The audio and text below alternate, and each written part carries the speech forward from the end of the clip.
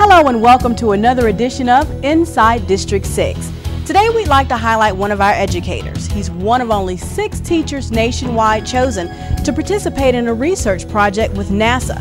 Today joining us is Mr. Garrison Hall, a teacher here at Gable Middle School. Thank you so much for joining us. Well, thank you for having me. Tell us a little bit about this project that you're working on with NASA. Well, this project is dissimilar to what I've been involved with in the past. Typically, I've been involved with planetary missions in our solar system. So, uh, JPL, that's the Jet Propulsion Lab in California, has invited me as a, as a teacher to go there and learn and talk to different engineers and scientists on on spirit and opportunity and curiosity. Now that's awesome. I mean, to be one of only six chosen nationwide. How do you feel about that?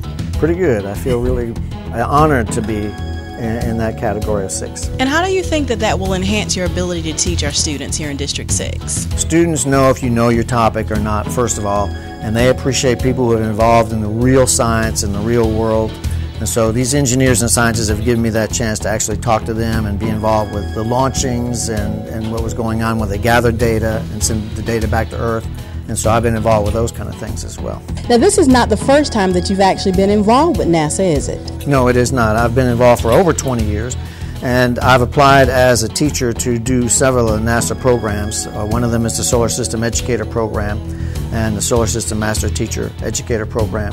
And so basically, what happens is they send you to different NASA facilities and tell you all about what's going on with the different launches and the different satellites and different missions.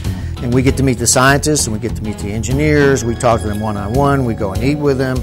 And then our job is to come back and show our colleagues, tell our colleagues what's going on, and, and uh, as well as our students. Besides being a science teacher, this year for the next 13 months, I will be considered a scientist. My degree is not as a scientist, but I would consider myself pretty close to that. You're, you're in the role of a scientist I'm right now. I am act- you're exactly right. I'm, I'm, in the role of a scientist this year. All right, and you got some students back here working on a few things. What are they working and on? And they're working on robots. We, as a Project Lead the Way classroom, we work on robotics in this room, automation and robotics.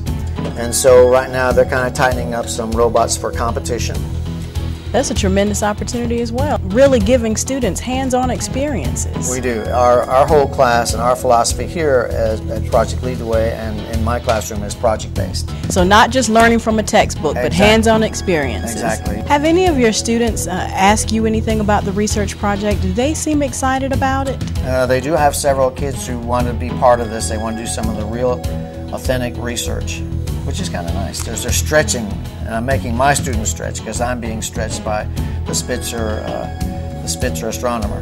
What a wonderful opportunity, and I thank you so much for well, joining us today. And thank you for joining us for another edition of Inside District 6. If you have story ideas that you would like for us to highlight, please email those ideas to district6 at spart6.org. Again, that's district6 at spart6.org. Thank you so much for your support of Spartanburg School District 6, where children are always first.